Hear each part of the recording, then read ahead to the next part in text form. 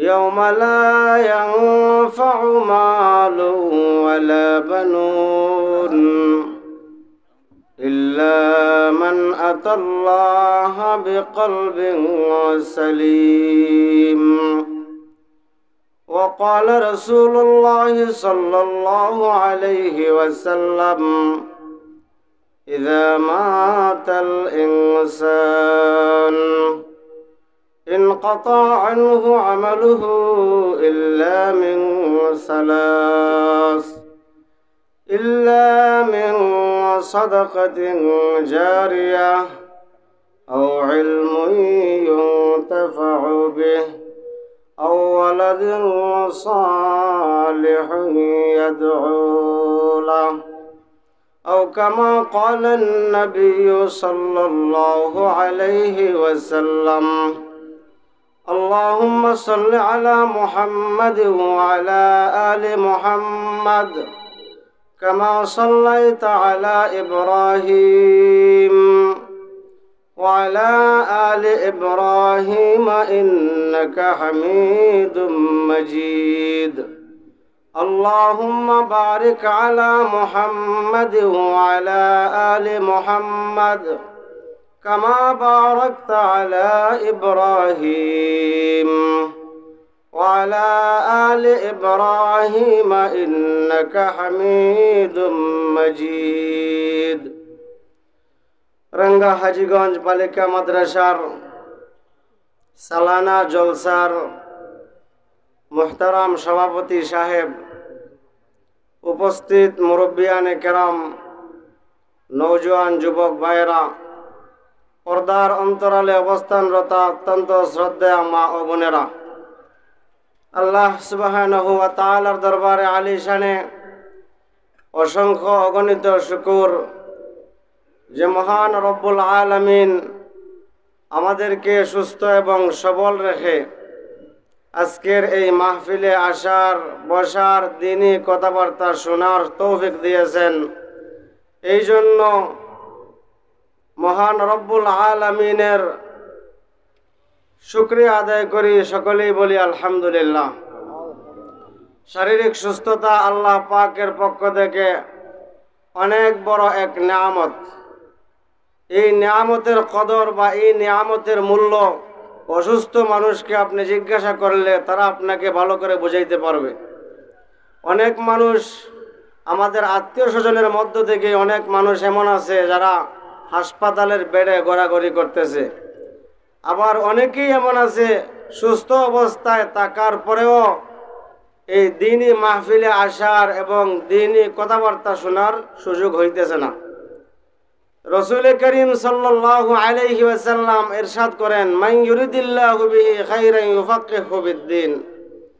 আল্লাহ তাআলা যাদের কল্যাণ চান, যাদের মঙ্গল কামনা করেন, তাদেরকে নেক আমলের তৌফিক দান করেন। ইলমে দিন তলব করার, অন্বেষণ করার, হাসিল করার তৌফিক আল্লাহ তালা তাদেরকে দান করেন। আল্লাহ পাক রব্বুল আলামিন আমাদেরকে এই মাহফিলে আসার, বসার হজরত উলামাই কারামদের পাক জবান থেকে কোরআন এবং হাদিসের দিক নির্দেশনামূলক কথাবার্তা শোনার তৌফিক দিয়েছেন এটা আমাদের জন্য বড়ই সৌভাগ্যের ব্যাপার পবিত্র কোরআনুল করিম থেকে ছোট্ট একটি আয়াত তেলাওয়াত করেছি আল্লাহ পাক রব্বুল আলমিন তেলাওয়াতকৃত আয়াতের মধ্যে ইরশাদ করেন يوم لا ينفع مال ولا بنون إلا من أتى الله بقلب سليم আল্লাহ পাক বলেন ইয়মালা ইয়াংফাউ মাল কামতের দিন মানুষের সম্পদ মানুষের কোনো উপকারে আসবে না ওয়ালা বানুন সন্তান সন্ততি কোনো উপকারে আসবে না কোন জিনিস উপকারে আসবে আল্লাহ পাক রব্বুল আলামিন বলেন, ইল্লা সালিম। আমার যে বান্দা পবিত্র একটা আত্মা নিয়া, পবিত্র একটা কল্ব নিয়া, শিরিক মুক্ত, নেফাক মুক্ত, কুফুর মুক্ত, বদ আমল মুক্ত একটা আত্মা নিয়ে আমি আল্লাহর কাছে হাজির হবে। ওই সমস্ত মানুষরাই আমি আল্লাহর কাছে নাজাদ প্রাপ্ত হয়ে জান্নাতের বাসিন্দা হবে। এই জন্য আপনাকে এবং আমাকে নেক আমলের সাথে সব সময় জড়িত থাকতে হবে। হায়াত আল্লাহ পাক রব্বুল আলমিন আপনাকে এবং আমাকে নির্দিষ্ট সময় পর্যন্ত দিয়া দুনিয়াতে পাঠাইছেন। আমরা তো মনে করতেছি যে দিন যাইতেছে, রাত আসতেছে, রাত যাইতেছে, দিন আসতেছে। আমাদের ধারাবাহিকভাবে আমাদের বিভিন্ন পদের উন্নতি হইতেছে। আমি অর্থনৈতিকভাবে ফ্যামিলি ফ্যামিলিগতভাবে আর্থিক অবস্থা আমার তেমন সচ্ছল ছিল না। দুইটা, তিনটা সন্তান আল্লাহ তাল আমাকে দিয়েছেন। লন্ডন পাঠাইলাম একটা, আমেরিকায় পাঠাইলাম আরেকটা, কানাডায় পাঠাইলাম আরেকটা, তাই আমি সুখী সুখী হয়ে গেলাম। কিন্তু আসল সুখী তো আপনি হইতে পারেন নাই। কেটে যাচ্ছে যে দিন, কেটে যাচ্ছে রাত। আপনার তো আমার মাইন্ডের মধ্যে তো এই কথা একবারও আসে না যে এভাবেই চলে যাচ্ছে আমাদের হায়াত।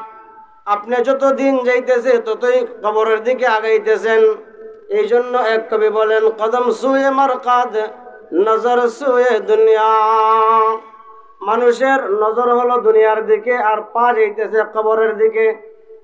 আপনার এবং আমার হায়াত নির্দিষ্ট করে দেওয়া হয়েছে। আল্লাহ পাক রব্বুল আলামিন বলেন, লিকুল্লি উম্মাতিন আজাল, ইদা জা আজালুহুম ফালা ইস্তাখিরুনা সাআ ওয়ালা ইস্তাকদিমুন আল্লাহ তাআলা বলেন, প্রত্যেকটা জাতিকেই প্রত্যেকটা গোত্রকেই আমি আল্লাহ তাআলা নির্দিষ্ট সময় দিয়া দুনিয়াতে পাঠাইছি।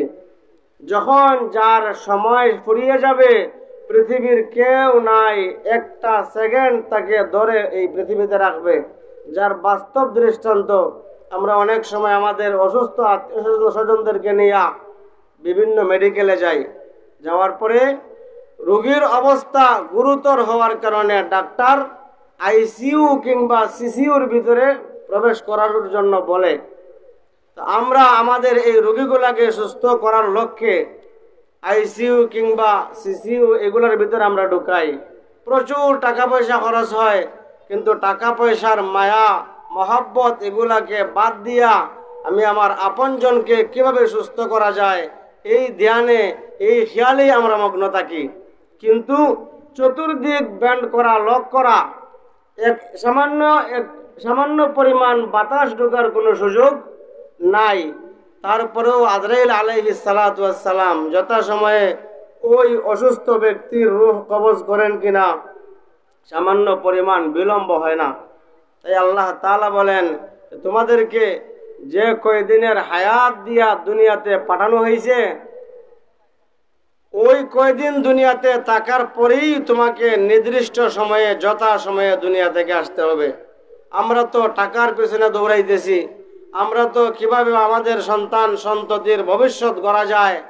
সন্তানকে আপনার আর্থিকভাবে সচ্ছল কীভাবে বানানো যায়? এই ধ্যান ধারণায় আমরা সবাই ব্যস্ত, সবাই মগ্ন। কিন্তু আমার সন্তান আখেরাতের বেলায় কি পরিমাণ অগ্রসর হইতেছে? আমার সন্তান নামাজ আদায় করে কিনা? আমার সন্তান আল্লাহর হুকুমগুলা মেনে চলে কিনা? আমার সন্তান মোহাম্মদুর রসুল্লাহ সাল্লাহ আলহি আসাল্লামকে তার জীবনের উসুয়া আদর্শ হিসাবে গ্রহণ করে কিনা, এগুলার প্রতি আমাদের কোনো খেয়াল নাই, আমাদের কোনো নজর নাই। এই জন্য কবি বলেন, কদম সুয়ে আমার কাদ নজর সুয়ে দুনিয়া।